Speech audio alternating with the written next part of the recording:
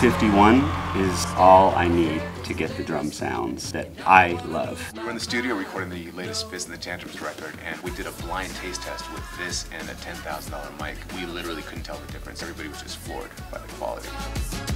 Been using it at home and on the road. Captures everything really wonderfully. It's become my go-to project mic, my main companion. Get this microphone. It's unbelievable. You'll thank me later.